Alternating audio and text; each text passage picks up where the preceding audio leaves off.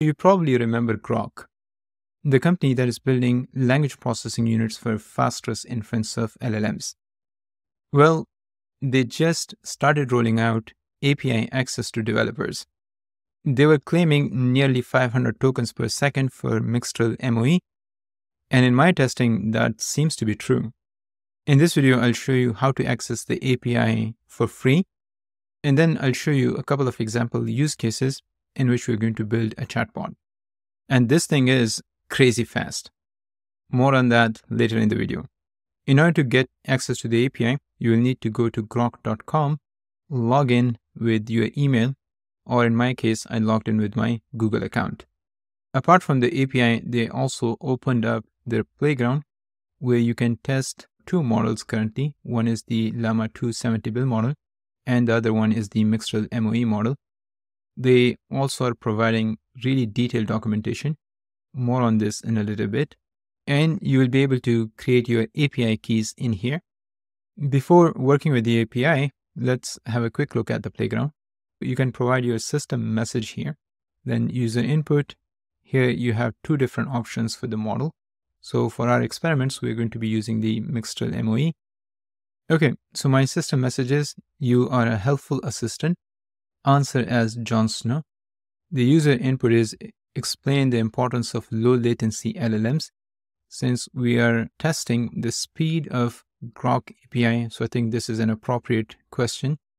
And then you can also set other parameters. This will control the behavior of the model. So you can set the temperature, maximum new tokens that it's supposed to generate, also top P, and if you want to include any stop sequence, hit submit, and this is real-time speed that you're going to get from the API. Let's have a quick look at the response. Well, greetings.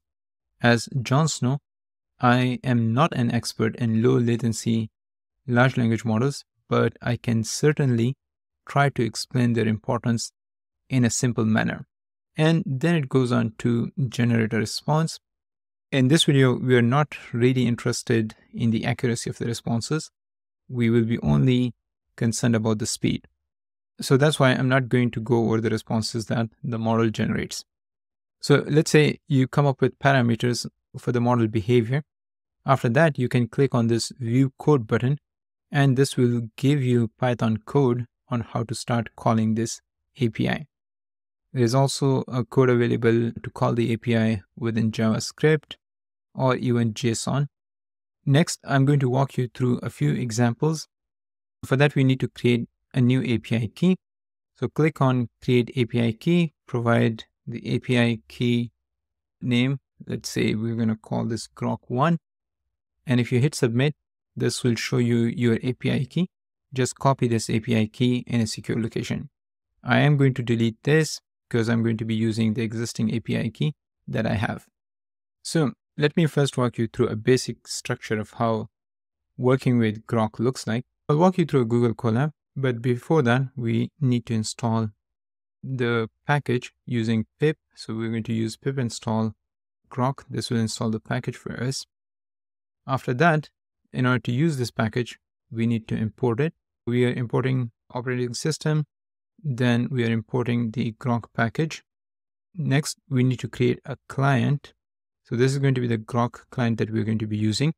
You will need to provide your API key since I'm using the notebook, so I'll have to set the environment variable within the notebook. I'll show you that in a bit. Once you create the client, the rest of the process is very similar to calling the OpenAI API key. So we are going to be using the chat completion endpoint. We create a new message.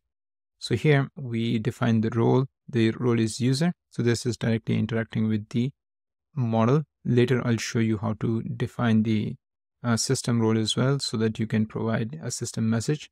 Next, you need to provide your prompt from the user. After that, you will need to select the model that you want to use. In this case, we are using the Mixtral MOE model. And once you make the call, you can get the response of the model using the choices variable then messages, and then the content of the message. So that's how the basic structure of the API usage is going to look like. Here's a Google Colab that I'm using. This is exactly the same code that I'll walk you through, but let's first set an environment variable. So you can click on this secrets button, then create uh, or add a new secret. Here I have provided my Groq API key. So you will provide the name of the secret or environment variable and then the corresponding value. Make sure to toggle this notebook access button so that your notebook can actually see the key that you're using. This is exactly the same code that we saw. Now let me show you the speed of generation in real time. So I'm going to click on this button and this will start generating the response. Now you kind of feel like it's streaming, but this whole thing was generated all at once. This is actually crazy fast. I haven't seen anything like this before. Later, I'll show you how to actually enable streaming as well, although for this, you don't really need that. Now, let's look at some other options. So how do you add a system message? In that case, you simply need to provide a new role called system. So this is going to become our system message, and we are asking the model to act as Jon Snow. The user message or user role is the same. There are quite a few other options that you can also set. So for example, you can set the temperature. This will control the creativity or randomness of your output. What is the maximum number of tokens the model can generate or you want the model to generate. Next is top P. This will basically control the sampling mechanism through which it's generating output. If you want to use any specific stop words, you can define those here and whether you want to stream the responses or not. So if you enable streaming you will need to change the way you get the output and I'm going to show you that later in the video. But we are going to use the same prompt, explain the importance of low latency LLMs and let me show you the real time response that we get. So here's like the speed at which it was able to generate the output, which is pretty amazing. And it's also actually sticking to the character that we asked it to. So that's pretty nice as well. Next, let's look at streaming responses.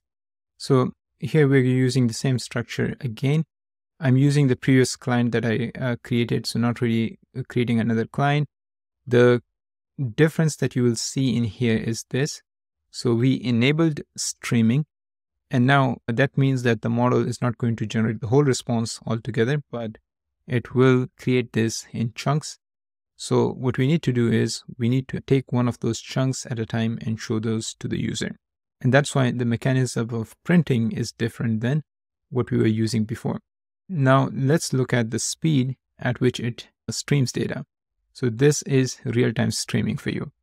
As you can see, this opens up so many possibilities. For example, with this, you will be able to have speech communication with the LLM. So you can have a speech to text model, which converts your speech into text, feeds this through the Groq API, gets a response in near real time, and then you uh, convert it back from text to speech using another model. Next, we will look at how to use stop sequences. So in this case, we want the model to stop generation if it encounters a 6 in its output, and the prompt is count to 10, your response must begin with one, then we give it example as well, like how the generation is supposed to look like. The stop sequences are really helpful, specifically if you want to interrupt the model generation in the middle. So this is actually interrupting the generation, although it's supposed to count till 10, but whenever it counters 6, it uh, stops the generation. Let's look at a real example use case. And in this case, we are going to be looking at summarization. Okay, so here's an essay from Paul Graham how to do great work. I copied this essay to a Google Doc and it's about 27 pages. So here I created a variable called text and copied all the text in here. And we're going to ask Groq to summarize this. Since we're using the Mixtral MOE model, it has a context window of 32,000 tokens. So this should be good enough. The system prompt is You're a helpful assistant. Your job is to identify main themes in the given text and create summary. Provide the summary in 10 bullet points. And the user context is the text that we copied. And here I want to stream the response. So let's run this. Now this is going to be real time. As you can see, this was pretty fast. So let's run this again just to give you a sense of how fast it is. So whenever this yellow arrow sign comes here, that's when it actually starts generating the response. So now it's sending it to the model and here's the response that you get. So if you run this multiple times, you will get uh, different responses, but the summary seems to convey ideas from the essay. Another thing that I have noticed is this none at the end whenever we use the streaming API. So let me show you another example. Like whenever I use the streaming API, I always get this none at the end. This might be something that the model is using as a stop token. Yeah, you can repeatedly see that. Now, when I use the same prompt with chat completion endpoint rather than the streaming, I don't really see that none. So if you're doing streaming, just make sure that you are aware of that none character. In this last example, I want to show you how to use the Groq API with Streamlit. The code that you see in here is an example code that the Groq has provided in their GitHub repo. And this is creating a Streamlit app that will enable you to chat with Groq API. The only difference is that in their requirements.txt file, they are using, I think, close to 150 different packages. You don't need all of them. You just need these five packages. So let me walk you through this code step by step. First, we're importing all the required packages that include Streamlit Groq as well as LangChain. So in this case, we want the chatbot to remember the previous conversations. And that is why we're using the conversation buffer window memory. And that will restrict how many previous conversations the bot can remember. Next, we need to load our API key. So we are using .env file here that is storing our Groq API key. Then we have our main function. So first we load the Groq API key. This is just for some cosmetic uh, purposes. Uh, so the title is going to be chat with Groq. And this is a line that you will see in the app. Next, a couple of things for customization. So you will be able to choose different models. Right now, you can choose either the Mixtral MOE model or Llama 270 billion model. We also want the user to have the control on how many previous conversations they want to they want the model to remember. So you can be, you choose between 1 to 10 and after that we define our conversation buffer window memory object. Next, there is going to be a user input button. So user asks a question and based on our conversation memory length that we have chosen, we are going to add that to history. Next, we will create our chat object. So we are passing on the API key, the model name to this chat, uh, chat Groq. This is basically internally using the same schema that I have shown you before in order to interact with the API. And we create our conversation. So we provide our LLM all the memory that uh, the model is supposed to have. So that goes into this conversation chain. And this is being created by using LangChain. Next, we're simply keeping a track if there is a new user question in the uh, text box, then that will run this um, uh, chain, get a response, show that response to the uh, user, and add that to history. So that's pretty much it. So we're going to create a new virtual environment. So we're going to use conda create dash n. Then the name of the virtual environment. In this case, I'm going to call it uh, YouTube. I want to use the same virtual environment for all my YouTube videos. Then we were going to define the Python version that we want to use. I already have this, so I'm going to say no, but I want to install all the required packages. And for that, we're going to use pip install dash r requirements.txt. Now, there are only five packages, as I said. So this was pretty quick. And after that, we are going to run the app. So in order to run the app, we're going to use Streamlit run groq underscore chat underscore app, and this will launch our app. Okay, so here's the app. On the left hand side, we have this drop down menu. You can choose between Llama and the Mixtral model. You can also change the conversational memory length. So we're going to ask a machine learning related question. And the question is, what is SVM? I have seen some issues with the Streamlit app. Sometimes it's pretty slow in response. So here's the response from the model. It talks about SVM. It, it provides a simple explanation, right? So it seems to be working. But what I have seen is this Streamlit app that they have provided sometimes doesn't work at all. There might be some issues with the uh, integration with LangChain. I will create uh, follow-up videos and explore it further. So play around with the API. It's free for the time being. And as we saw in this video, it's extremely fast. If you need help in building applications on the Groq API, you can reach out. Details are in the video description.